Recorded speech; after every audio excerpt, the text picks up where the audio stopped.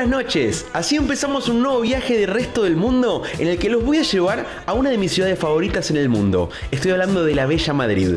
Madrid es una de las ciudades más visitadas por los argentinos y una de las preguntas que más me hacen es cuáles son los imperdibles de esta ciudad. Y es por eso que quise armarles hoy un recorrido por la ciudad conociendo mis lugares turísticos preferidos y algunos puntos no tan conocidos. ¿Están preparados para anotar todo? Arranquemos.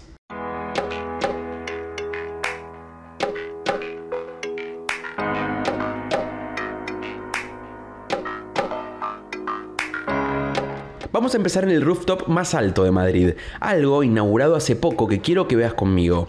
Subimos por un ascensor súper rápido en el Hotel Riu para ver dos locuras. Te adelanto que no es gratis. Para subir te sacan algunos euritos. ¿Qué va a ser, che? Todo no se puede. Estamos justo enfrente de la Plaza de España, es el rooftop más grande de Madrid. Acá la gente viene para sacarse la típica foto. Hay mucho vértigo, si miras por abajo. No es recomendable si tenés vértigo por nuestra cámara. Matías, vení, Mati, por favor. Agarra, por favor, de momento, vení. Esos nervios sí se pueden ver, mirá. Claro que sí, mirá para abajo. Mirá para abajo. Mirá para abajo. No se la no muero. Tener cuidado, hay mucho vértigo, así que cuidado con abajo.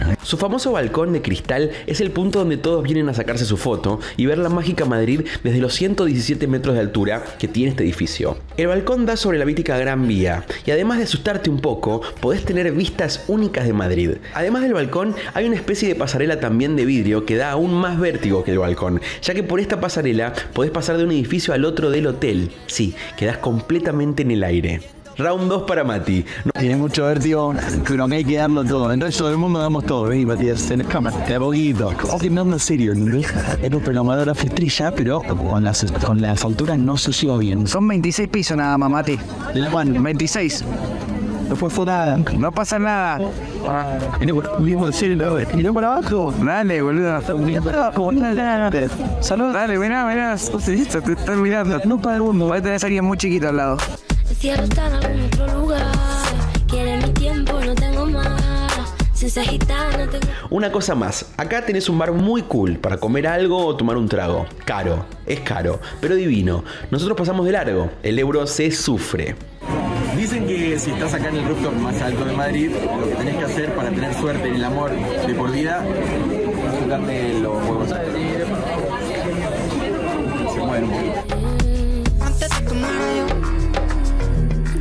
Antes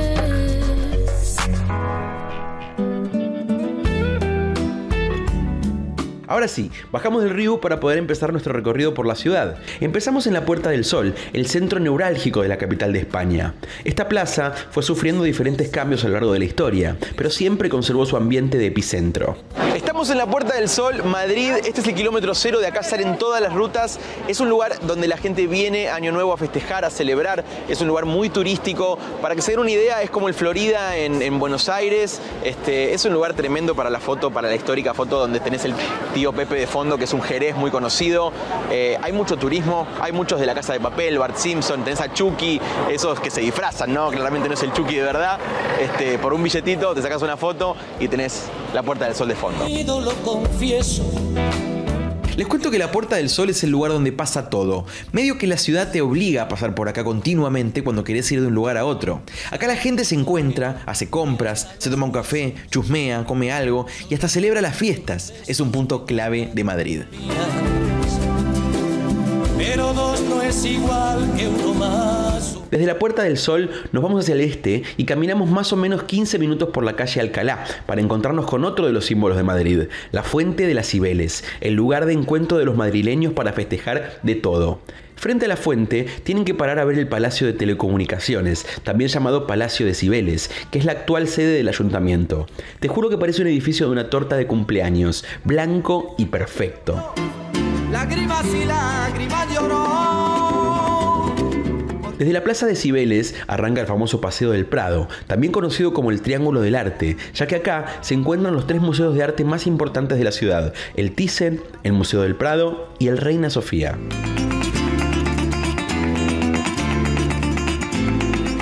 Te propongo conocer los museos para aprender de arte un poquito. Vamos a entrar al Thyssen para mostrarte las obras que no se pueden perder y mientras aprendemos juntos. Estamos en la puerta del Museo Thyssen, uno de los tres museos más importantes de España. En su origen, el barón Thyssen era dueño de esta colección. Hoy la colección es parte de España.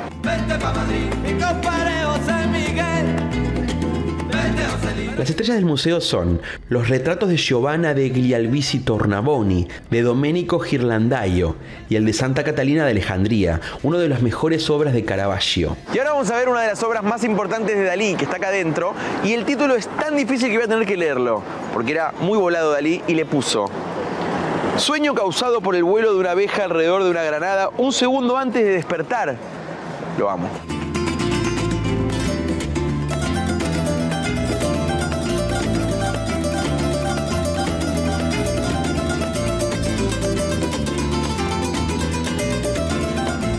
Otras obras de excelente técnica son Bailarina Basculando de Degas y la Plaza de San Marcos en Venecia de Canaletto, restaurada en 2019. Otra obra en la que sí o sí tenés que parar a disfrutar es Los descargadores en Arlé, que muestra la nostalgia de su artista, Van Gogh. Si les gusta el arte más moderno, especialmente abstracto, les recomiendo Nueva York 3 de Mondrian. Y entre los destacados contemporáneos se pueden disfrutar obras contemporáneas como el número 11 de Jackson Pollock. Dejé para el final mi obra preferida del museo, La colorida mujer en el baño de Roy Lichtenstein. Un poco de arte te alegra la vista y te enseña, ¿no? Sigamos viaje, ¿les parece?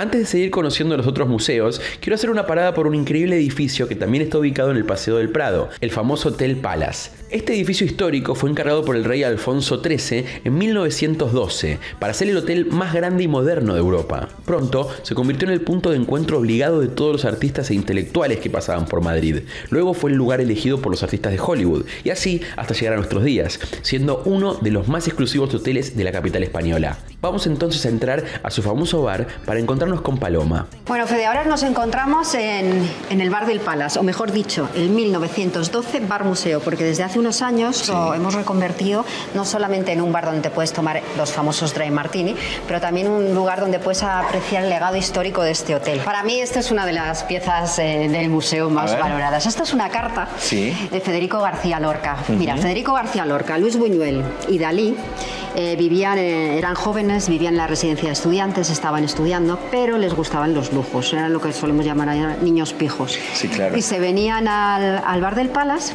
y bueno, pues se gastaban todo el dinero aquí y después, pues como no podían pagarlo, pues decidieron escribir una carta a un amigo, Claudio de la Torre se llamaba, y le decía, querido Claudio, necesitamos que nos mandes dinero porque no vemos ninguna solución. Hacemos un giro porque no Sí. podemos salir sin pagar, Y claro. ahí los dibujitos para, bueno, para convencerle de que Estos son de Dalí. Dibujos de Dalí, por Son Dios. dibujitos de Dalí. Es, Es una joya. invaluable. Eso estaba escrito en una servilleta. La locura que manejaba Dalí Sí. de manejar esas de, de escribir, de dibujar esas cosas que eran como, como pececitos. Sí, sí. Dalí Como además ha tocando el violín. Tocando el violín. sí, Bueno, Dalí. Claro, cómo no. Pues Dalí después eh, se alojaba aquí. Esto era la época de estudiante, que venía aquí al bar, pero no se alojaba. Y después ya, más adelante, en los años 60, en los años 50, Dalí se alojaba en el Palace, venía con gala y se alojaba en una de las suites más bonitas del hotel. Pienso un segundo en las charlas que habrán tenido con Buñuel, con, con, Sí. con Dalí, una cosa hermosa, Sí. padres del surrealismo, de, de la locura ¿no? de, de nuestra, de nuestra era. Este libro es un libro de registro del año 17. 17. En el año 17, eh, Picasso, lo, lo he encontrado tres veces, eh, estuvo alojado en el hotel. entrada, firmada Vino la con entrada. el ballet ruso y ahí tienes, si te acercas, eh, puedes ver la estancia de, de Pablo Ruiz Picasso. Two-stepping with a woman I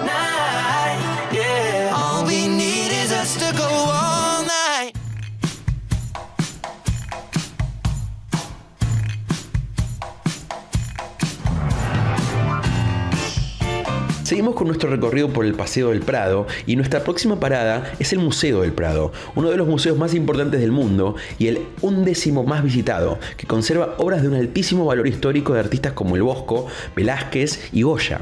En la sala más popular del museo se encuentra la obra maestra de Velázquez, Las Meninas, que ha sido objeto de estudio y admiración por parte de críticos de arte de todo el mundo. Además, esta pintura es considerada una de las obras más importantes de la historia del arte español y una de las pinturas más representativas del siglo de oro español.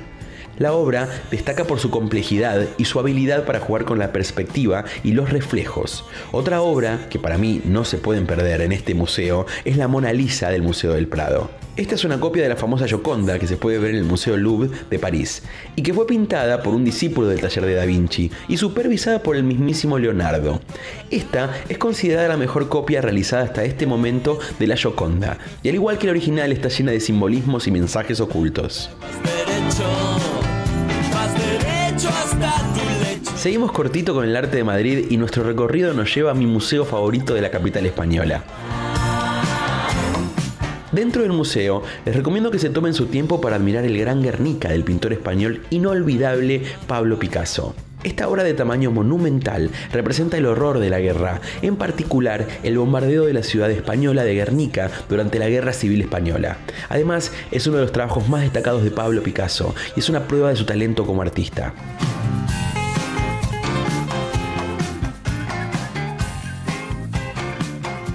Alquileres Temporarios cumple un año en despegar.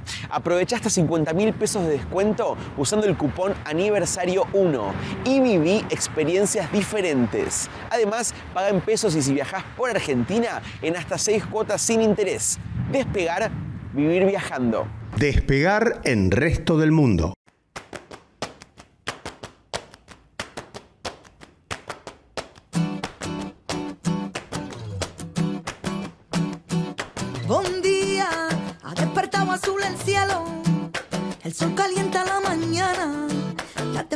A la salida del parque se encuentra la famosa Puerta de Alcalá, una de las puertas de la muralla que fue construida durante el reinado de Carlos III en el 1769. Un dato interesante es que el conjunto formado por el Paseo del Prado, donde se encuentra el Triángulo del Arte, y el Retiro forman el Paisaje de la Luz, el primer espacio nombrado Patrimonio de la Humanidad de la ciudad de Madrid.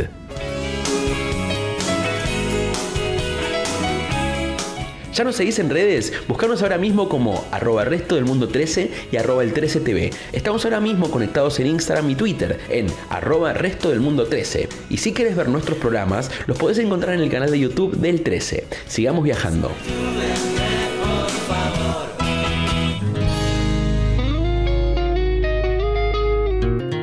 Otra vez las calles vacías, viento soplando. Ahora vamos a agarrar la calle más emblemática de Madrid, la Gran Vía. La Gran Vía es la avenida más conocida de Madrid. También fue llamada la Avenida Rusia y la Avenida de 15 y medio. Comunica el barrio de Salamanca con el barrio de Argüelles y, como ven, es muy concurrida por los turistas.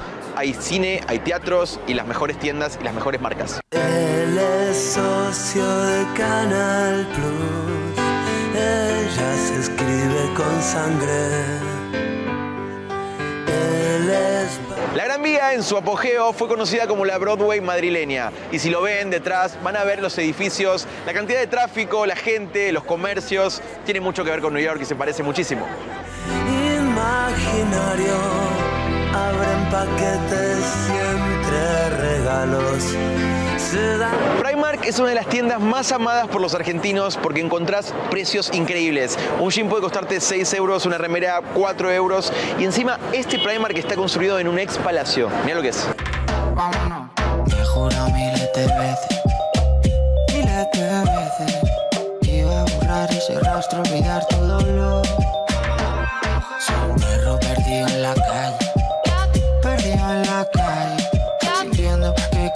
Cualquier brisa me arrastra a tu olor. Estando en la Gran Vía vamos a hacer solo media cuadra para conocer una joya a la que podés subir gratis. Estamos en el rooftop de Corte Inglés. Hay muchos Corte Inglés en toda España. Este es uno que encontramos por acá cerca de la Puerta del Sol. Y quería contarles que se puede comer bien y no gastar demasiado. Esto que les voy a mostrar ahora costó 37,25 euros. Y se puede comer bien en el sentido de que, por favor, vení, acércate. Esto es salmón con cangrejo. Esto es todos los países vascos, comida vasca. Se me hace la boca. Acá tenés un poco de atún, sanguchitos como de pollo con una, con una cremita y vegetales y jamón crudo ibérico con un quesito que debe ser un queso de cabra. Tres personas, 37, 25 euros, un par de gaseosas, comemos todos. Todo mi cuerpo, de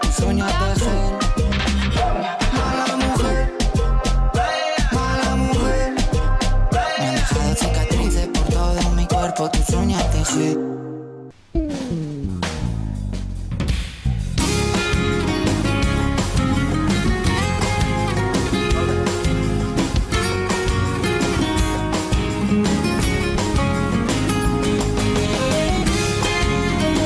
llegó el momento de visitar otro de los imperdibles de Madrid, la Plaza Mayor. La Plaza Real, como se llamaba anteriormente, está justo en el centro del casco antiguo de la ciudad. En sus comienzos se hacían acá ejecuciones, corridas de toro y también grandes fiestas en las que podía llegar a ver hasta 50.000 personas. En la Plaza Mayor les recomiendo recorrer sus locales tradicionales y frenarse en alguno de sus bares o restaurantes tradicionales a comerse un maravilloso bocadillo de calamares.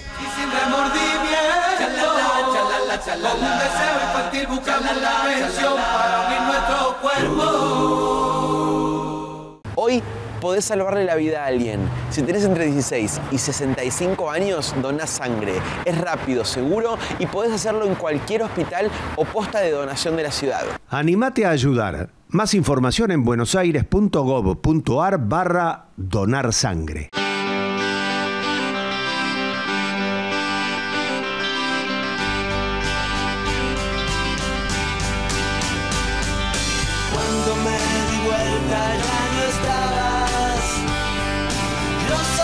Cerquita de la Plaza Mayor llegamos al mercado de San Miguel, un antiguo mercado que fue restaurado en un edificio de hierro de 1913. Acá es donde me empiezo a poner nervioso porque amo la comida y estamos en el lugar más importante, estamos en el mercado San Miguel. Acá es el centro de la ciudad y es como toda la gastronomía de España vive en un mismo lugar. Fiambres, pescados, cervezas, croquetas, todo lo que pasa en España a nivel gastronómico pasa acá.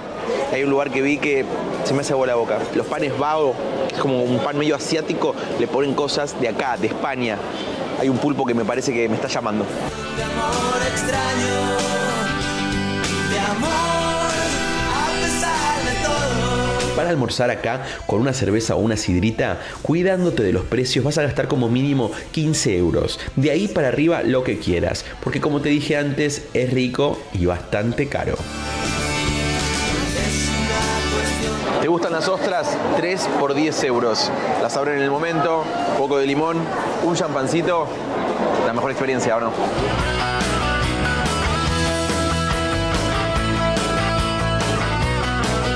Después de recorrer los puestos del mercado, me quedé con las ganas de probar la clásica tortilla de papas. Y para eso vamos a ir al norte de la ciudad, más específicamente al mercado de San Leopoldo, donde nos vamos a encontrar con Víctor, quien nos va a llevar a probar una de las mejores tortillas de Madrid. Bueno, estamos con Víctor y queremos contar que hay una nueva cocina en Madrid. O sea, tenemos lo clásico, pero también tenemos este mercado que funciona como la nueva cocina, lo- la juventud en la gastronomía. ¿Cómo andas, Víctor? Muy bien, ¿qué tal? Gracias por venir. Un placer, un placer. Esto me contabas que nació por parte de tu abuela.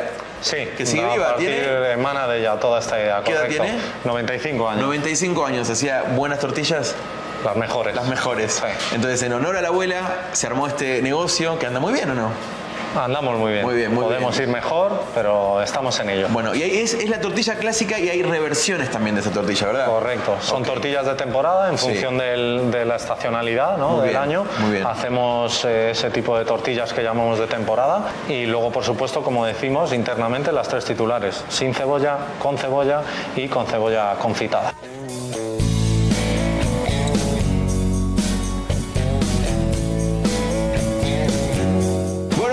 Joaquín. Él es Joaquín, el chef.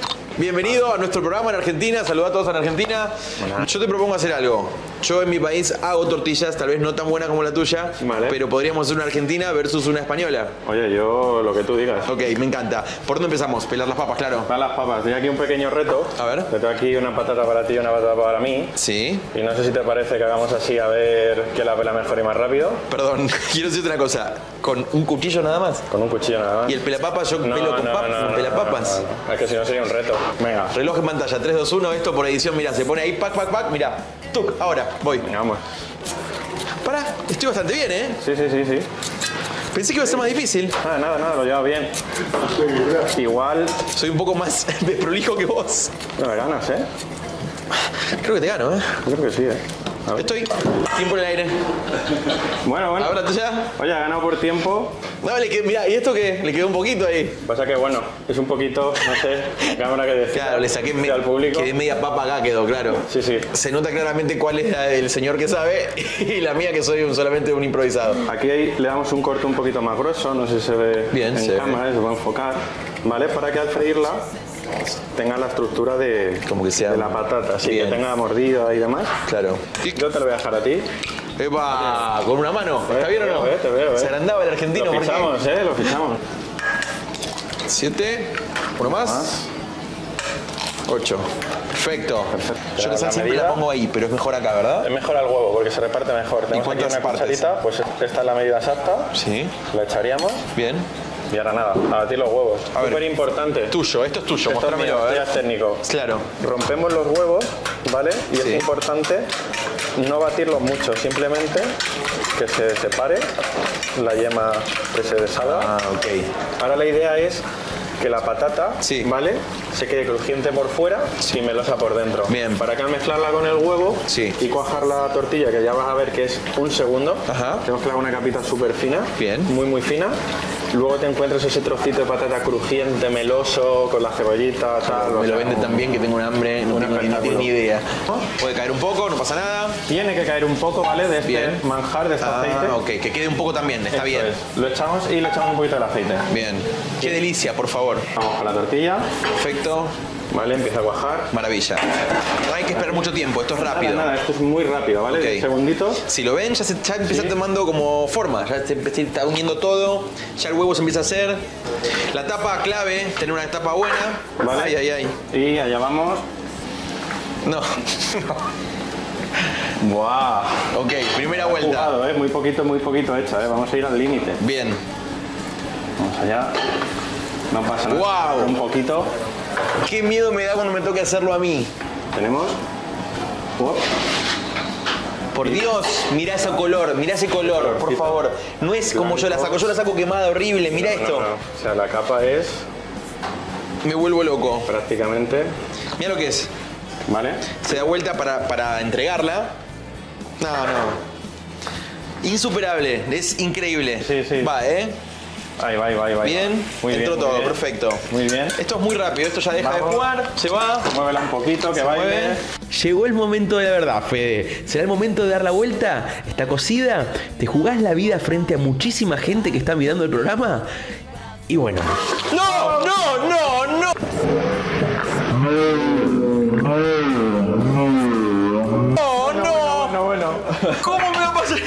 La puta madre. Para, para, para. Para que te lo pago, no lo puedo creer, para. Bueno, bueno, espera, espera. Hoy hemos hecho. ¿Me entendés lo que acabo de hacer? Un omelette. No, esto, esto no puede ser. Yo me la comería era así. muy probable que esto iba a pasar. Igual me la voy a comer y voy a decir que está genial, porque seguramente está genial. Tiene un olor hermoso, pero la presentación es un cero. No puedo creerlo. Tu próximo cero kilómetro llega de la mano de Plan Rombo. Simple, práctico y transparente. Avanzás a tu nuevo Renault. Renault en resto del mundo. ¡Vamos! ¡Pucho! Volvemos al centro histórico de la ciudad para conocer la famosa Catedral de la Almudena. La catedral con una mezcla de estilos neoclásico, neogótico y neorromántico. Es la principal de Madrid, es preciosa y muy grande. Te cuento que la catedral está pegada al Palacio Real, otro imperdible de Madrid, que es el palacio más grande de toda Europa. En su interior hay más de 2.000 salas con obras de gran valor. Te propongo poner una musiquita clásica copada como para ir viendo las salas más lujosas del Palacio Real.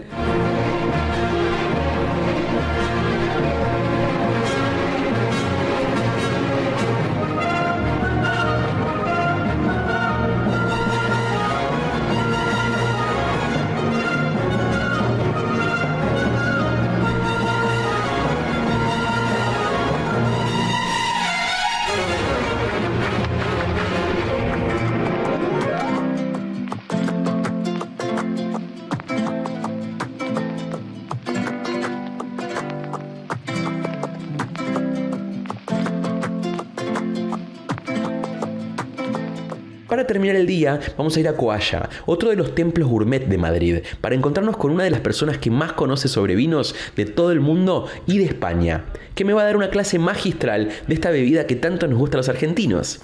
¿Viste cuando hablas de un vino y decís que le dieron tantos puntos? ¿De dónde sale eso? Ahora lo vas a saber. Bueno, Robert Parker ha sido el crítico más influyente de la historia y, y su opinión eh, pues ha sido la más citada en el mundo mundial, ¿no? Entonces, pues sí, es un poco la referencia.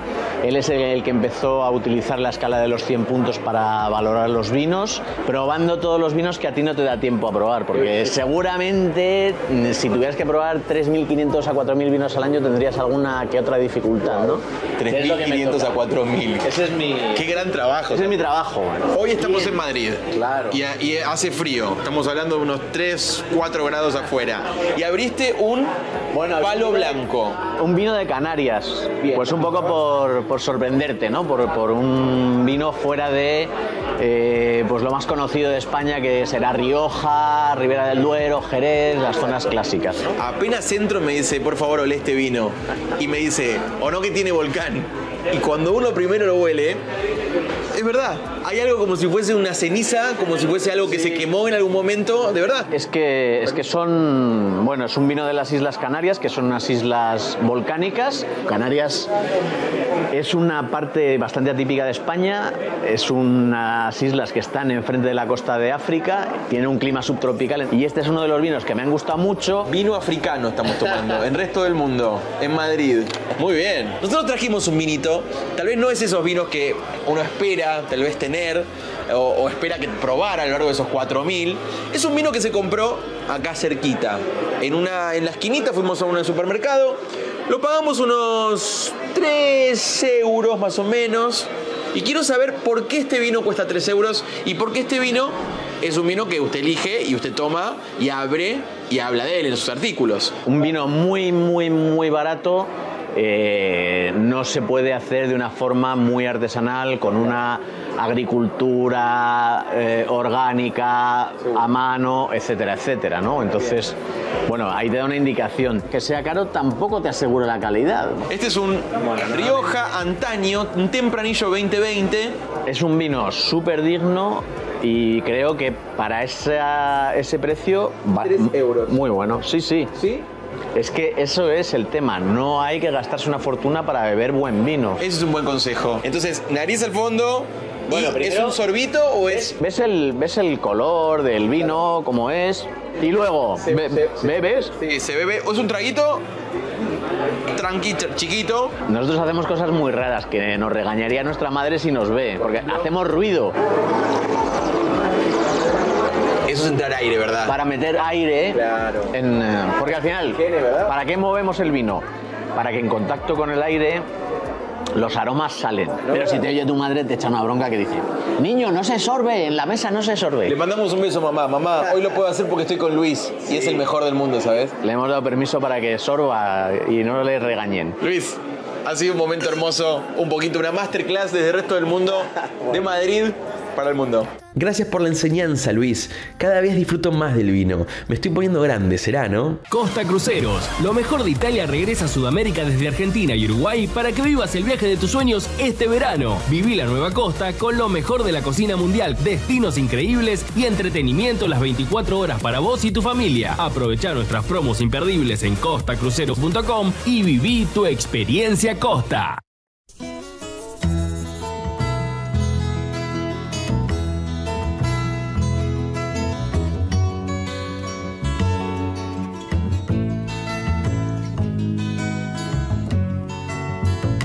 Seguimos en Madrid y quiero empezar el día mostrándoles uno de mis barrios favoritos de la ciudad, Lavapiés. Este es el barrio multicultural de la capital española y para mí uno de los lugares más divertidos en Madrid. Acá vive mucha gente de diferentes partes del mundo, como India, Marruecos y países de África. Les recomiendo pasear por sus calles y descubrir locales de todo tipo, como librerías, anticuarios y cafés muy copados. En el barrio de Lavapiés les recomiendo hacer una parada para tomarse algo o ver una película en Sala X, un actual cine bar reconvertido en lo que fue en algún momento el último cine porno de Madrid, el mítico cine Alba. Un agujero queda para mí Otro de los barrios imperdibles de Madrid es Malasaña, el más cool de la ciudad. Manuela Malasaña es quien le da el nombre a este barrio, una heroína del levantamiento del 2 de mayo de 1808, quien murió en estas calles a mano de las tropas francesas cuando colaboraba para defender la ciudad. En los años 80 acá se generó un gran movimiento cultural conocido como movida madrileña y hoy en día se convirtió en el barrio hipster de la ciudad. El mejor plan en Malasaña es pasear por sus calles, llenas de arte urbano y una gran diversidad de locales muy cancheros, libros y decoración.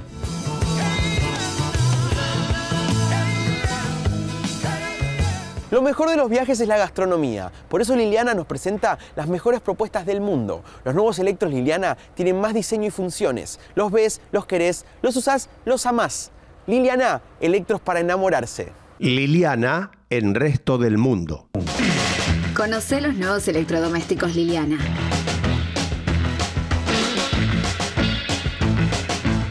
Lo ves, lo querés, lo usás, lo amás. Liliana, electros para enamorarse.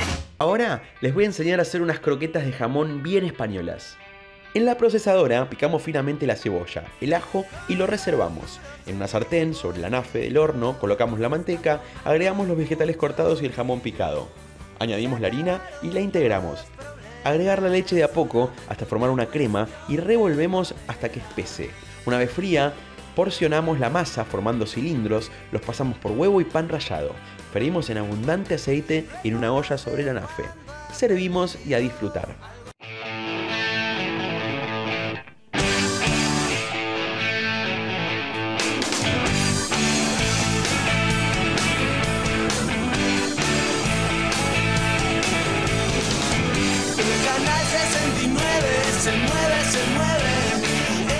Otro de los imperdibles si vienen a Madrid es visitar alguna de las ciudades cercanas que están llenas de historia y encanto. Personalmente, la que más me gustó además de Toledo es Ávila. Uno de esos lugares que te hacen volver atrás en el tiempo y te atrapan sin querer en una película medieval, con sus callecitas, su catedral gótica, su plaza mayor y muchos secretos más. Estamos en Ávila, 3 grados, hace mucho frío, pero estamos con María que nos va a entrar en calor un poco de lo que pasa acá. Estamos sobre la muralla. Eso es. ¿no? ¿Y a cuántos metros del mar, María? Pues Ávila es la capital de provincia más alta de España, 1136 metros. Nos faltaba un poquito el aire, debe ser un poco la altura de Pero esto. fíjate qué fresquito que bien se respira. Sí, es, un, es un lujazo. A mi espalda vemos el casco histórico, ¿verdad? Eso es. Bien. Tenemos el casco histórico Sí. eh, y ya fuera del recinto amurallado, eh, toda esta zona que estás viendo a mi espalda, todo es el, el Valle Amblés. Luego las sierras que nos salen, la Serrota, la Paramera y esos picos que se ven al fondo son estribaciones de la Sierra de Gredos, Bien, el y la corazón muralla del- está toda construida con altura, ¿verdad? Porque me habías contado. Sí, la, la muralla, desde luego, el monumento más emblemático que tenemos, está construida a lo largo y ancho de un desnivel. Bien. Tiene la forma de un trapecio, de un rectángulo irregular. La parte más cortita y más baja al oeste, cerquita del río. Y va subiendo hacia la parte más vulnerable, donde estamos nosotros ahora, que es por donde realmente se empiezan a construir. Y el motivo fue el terreno. En toda esta zona era muy llano y era fácil el acceso de tropas enemigas. Por este motivo, pues ahora mismo estamos en una de las puertas más importantes que tiene la muralla, la puerta de San Vicente. Muchas batallas se han. Bueno, gracias a Dios nunca supimos Claro. si las puertas funcionaban bien o no, porque al final ese enemigo tan temible para todo cristiano en el medievo, el musulmán, pues una vez repoblada la ciudad, construida la muralla, ya los muros les ofrecen un cierto respeto, alejándose más hacia el sur de la península. Ávila está documentada de que no vuelva a ser atacada.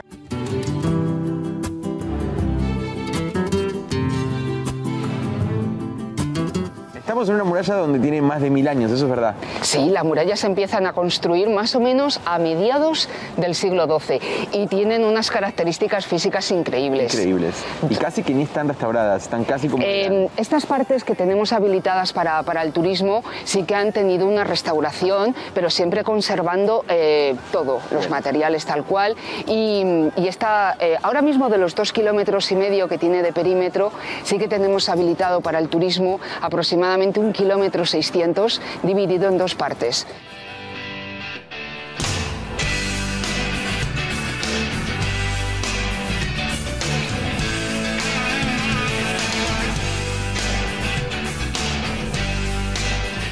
Llegamos con María a la Catedral de Ávila y si ven alrededor, yo no lo puedo creer, es como una película medieval, es como un cuento de, de otra época, ¿o no? Pues sí, es Hay algo que de eso. esta- este entorno, lo que es la plaza de la catedral, eh, al fondo nuestro tenemos la, la fachada principal de la misma, es que es una, es una maravilla. Y es que es más, esta calle que tenemos aquí al ladito a la, a la izquierda, es la calle de la muerte y la vida para nosotros, Bien. porque en toda esta zona es el exterior del claustro de la catedral. Bueno, en esta calle estuvo prohibido durante los siglos XVI, XVII el duelo entre caballeros. Era muy típico que los caballeros se reunieran en esta calle Igual tranquila que no venía a hacer ningún duelo ni nada, porque tal vez me ves como está prohibido. Mm. no, lo iba a está, hacer. está completamente prohibido. Ya lo la- sabía. a la Vamos a pasar. Vamos, De acuerdo. La Catedral de Ávila está considerada como la primera catedral gótica de España. Esta bella catedral fue declarada Patrimonio de la Humanidad en el año 1914 y Monumento Nacional en el año 1949.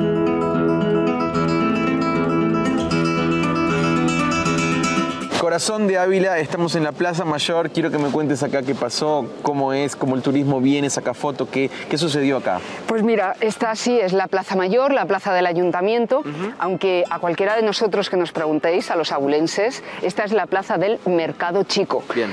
¿Vale?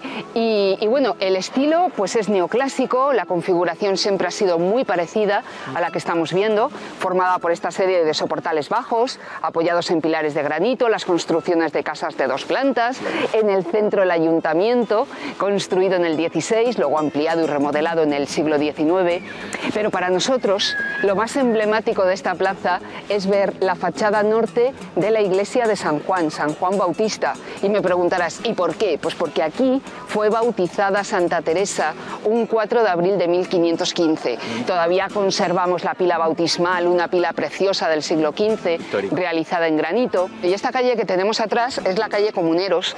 Es una de mis calles favoritas porque al fondo se puede ver la torre terminada de la catedral, la torre norte con 42 metros y medio de altura, que es un referente. La podemos ver prácticamente desde cualquier punto de la ciudad. Ahora nos tenemos que ir un breve corte, pero no se vayan que en el próximo bloque voy a mostrarles cuál es el plato más famoso de Ávila, que estoy seguro que les va a encantar tanto como a mí. Quédate ahí que ya volvemos en unos minutos nomás con más resto del mundo, por la pantalla del 13.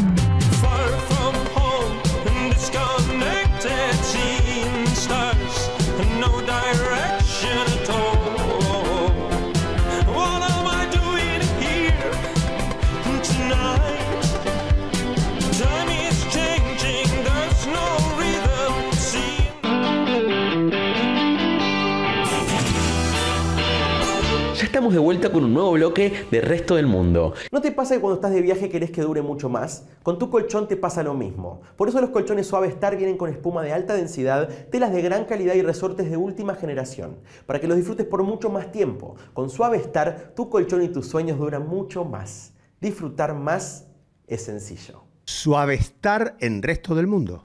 ¿Sabes por qué los colchones Suavestar tienen marcos de acero y estabilizadores? Porque así duran mucho más. Como tus sueños. Con tu Suavestar, disfrutar más es sencillo. Suavestar, colchones y somiers.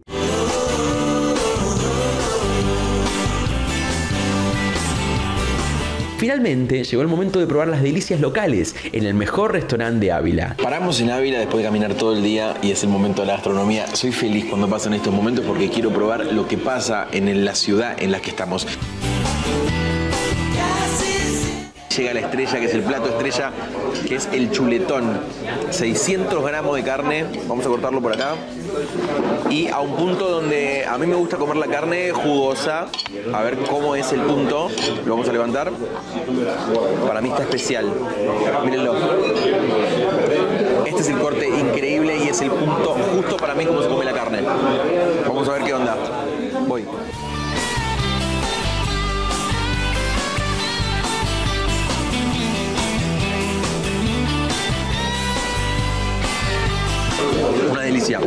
De sal y el punto justo de la carne.